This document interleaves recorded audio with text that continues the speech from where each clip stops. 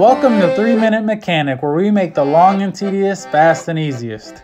Today we got our hands on a Tesla Model 3.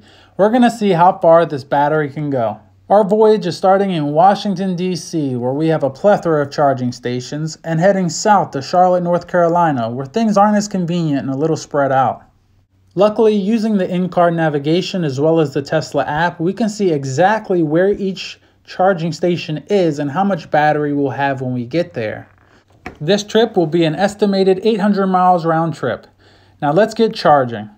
During our first stop, I can see here it takes 45 minutes to supercharge. In the meantime, what can I do? Well, here we have lots of options between Netflix, Hulu, YouTube, and even video games. Before you know it, you'll be all caught up on your 3 Minute Mechanic videos and ready to hit the road.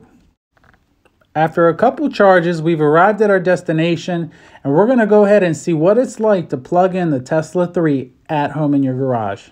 In the trunk of your vehicle, you should have a mobile charging connector.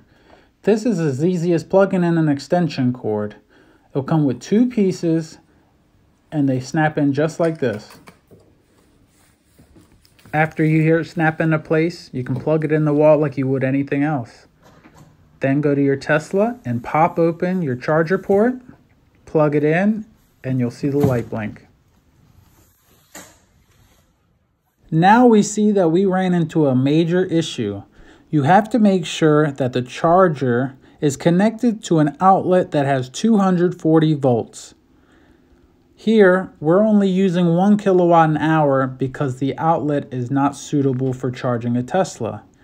Now that we have this problem on our hands, we better get to an actual supercharging station. Lucky for us, there's one not that far away and we should get there with 16% battery. Upon arrival, we found a lot of open charging stations as well as other drivers getting a charge.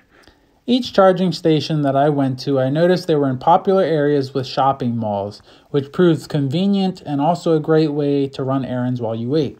As predicted, our Tesla was right. We have 16% battery left and we're ready to charge. Always be sure to reverse far enough so that the connector reaches the charging port.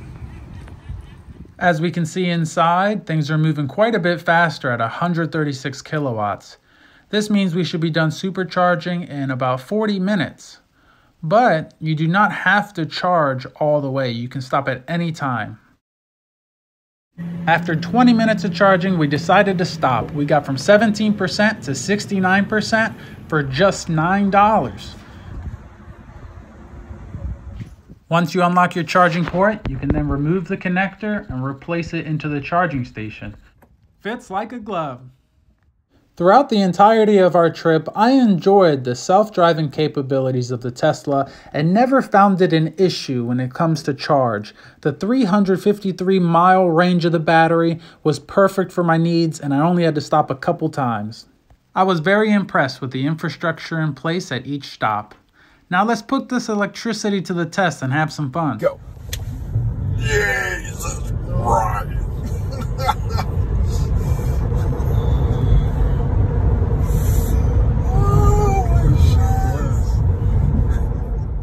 We hope you enjoyed this electrified episode of 3 Minute Mechanic. Be sure to like and subscribe, and we'll be seeing you on the next one. And as always,